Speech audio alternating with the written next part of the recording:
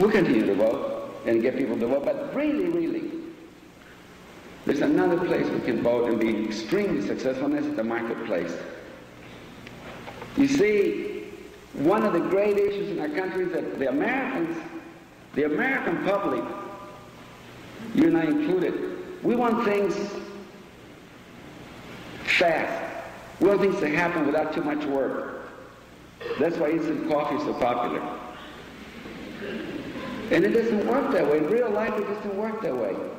Meaningful change takes a lot of struggle, a lot of time, a lot of dedication. That's what happens. Look at the struggles that really mean have really done something in this in this world. Look how long it takes them.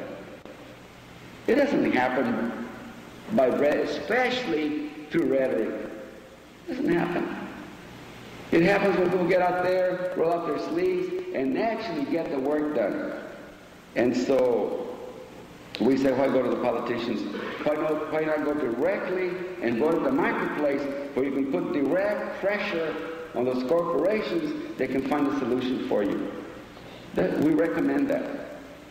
And we, we live long enough to know that it works. You see, we hear that, the old cliche that politics makes strange bedfellows. Boycotts make stranger bedfellows still. Because we live in a very capitalistic society, because of that, the boycotts are even better to work. It's easier to work here. We start boycotting grapes?